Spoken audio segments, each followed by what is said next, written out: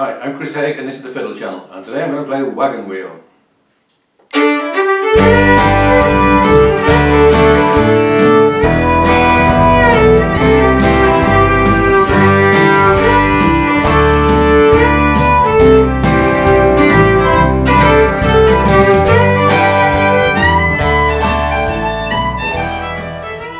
Now, one of the interesting things about this song is that uh, all my friends hate it. People who play bluegrass and uh, old time uh, have no respect for Wagon Wheel whatsoever, which I think is a shame. I think it's an excellent song. Um, I think probably the main reason they don't like it is that it was a commercial hit, and um, old time music should not ever be a commercial hit, but this was. The origins of this song are quite strange because it was started off by Bob Dylan who um, in his Pat Garrett sessions recorded this as a, an unfinished song. Uh, I think maybe with a bit of a chorus and a bit of melody, but really not much work put into it at all. And then it was uh, rediscovered uh, on, the, um, on a bootleg album by the Old Crow Medicine Show, who decided they would finish it off and um, put what I think is an excellent set of words to it. And um, they recorded it, it became their hit and their signature song. Um, it was made uh, a bigger hit later on by Darius Rucker and uh, the fiddle part on that is really good, I think that's well worth listening to. Um, both of those versions are in the key of A, but a lot of people seem to do it in G, and uh, indeed I do it in G. But in fact what I've done here today is to do both G and A and a key change from one to the other, uh, although extremely corny, is a really good idea. It really works with this song. So I'm going to show you the intro, um, some stuff you can do for backing and some bits of uh, solo that you can do, including reference to the Darius Rucker version in particular. So let's start off with the intro. And uh, if you're going to play this song, I think you should uh, learn the intro properly, or something close to it. So uh, we've got um, um, a kick off, one, two, three.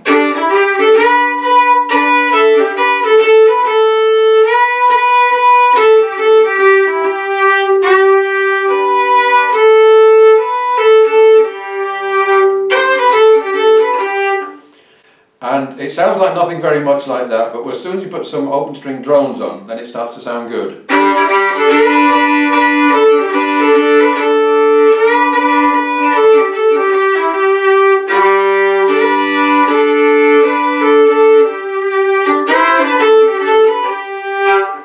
I noticed that this has got a very distinct swing to it, so it's not um, even quavers, it's definitely swung quavers.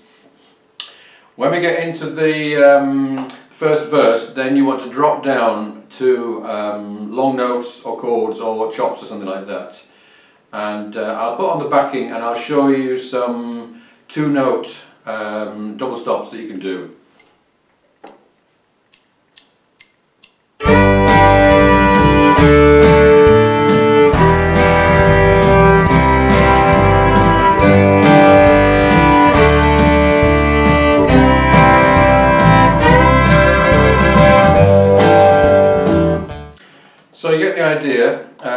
Very simple.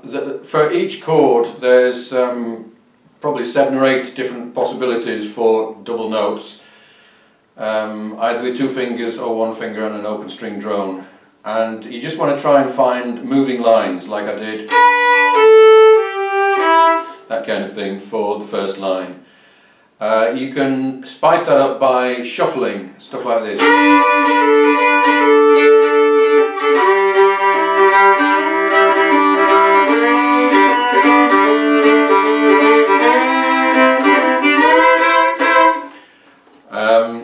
As I said, you can do chops.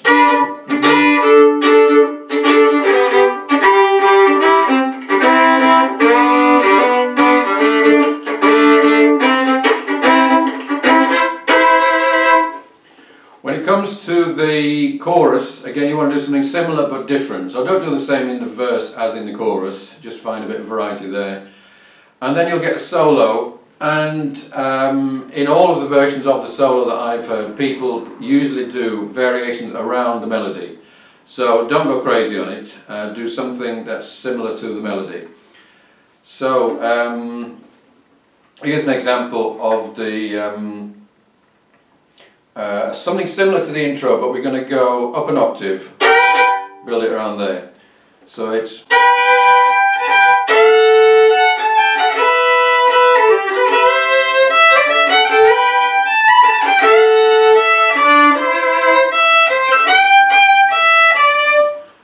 so let's do the intro and the double stops and that higher solo.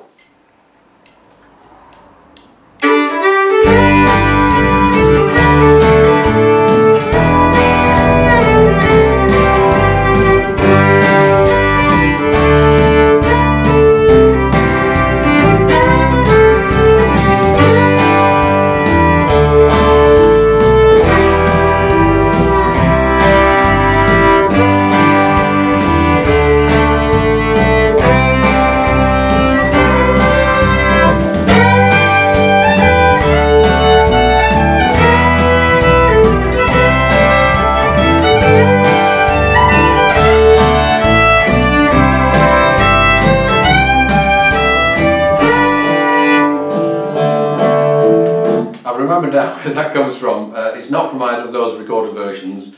Uh, what I'm doing is I'm playing a double stop and then I'm doing a little fill.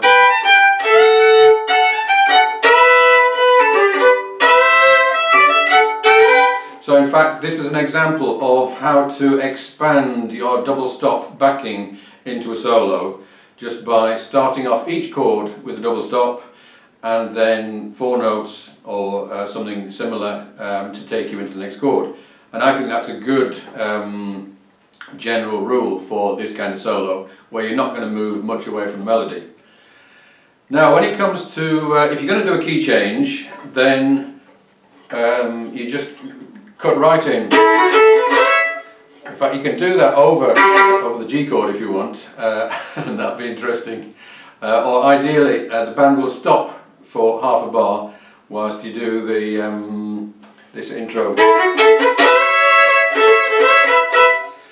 So I'll show you now the, the Darius Rucker, um, his fiddler, who I don't know who he was, but he's a good fiddler. Uh, this is the, what he did as the intro.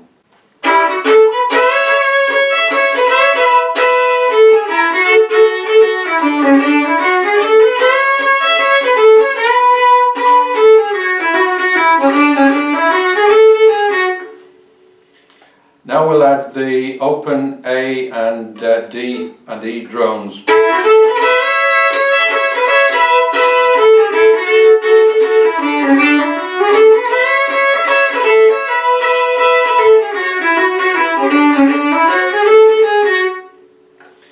And then we move into the backing um, and this time I'll give it you with the chords.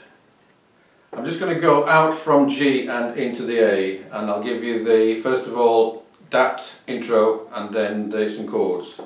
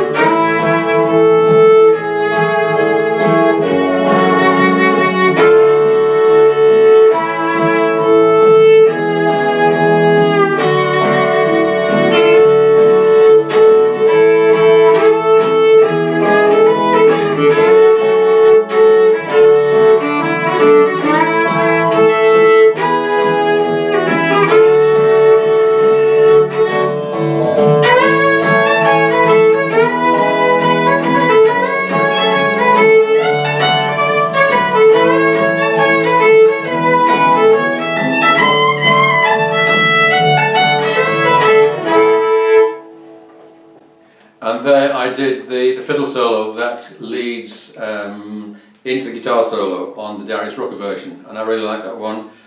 Um, I'll just give you that again. Nice little roll there.